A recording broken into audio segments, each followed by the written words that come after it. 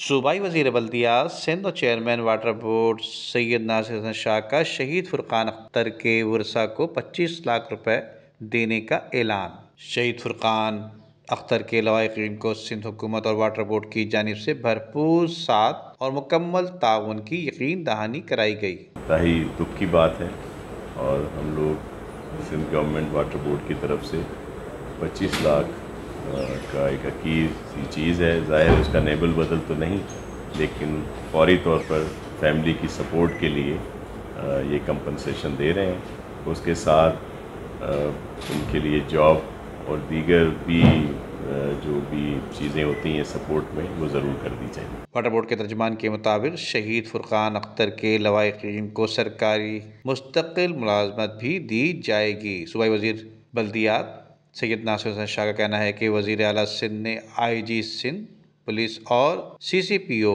को शहीद फुरकान अख्तर के कातलों को फौरी गिरफ़्तार करने के अहकाम भी जारी किए हैं, जबकि इस नाहक खून में जो भी शामिल है, इन्हें सख्त सज़ा दी जाएगी।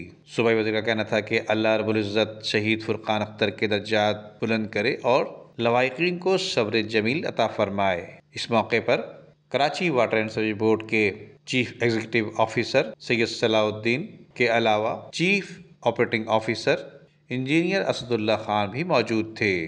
Nadeem Siddiqui, metro seven Pakistan.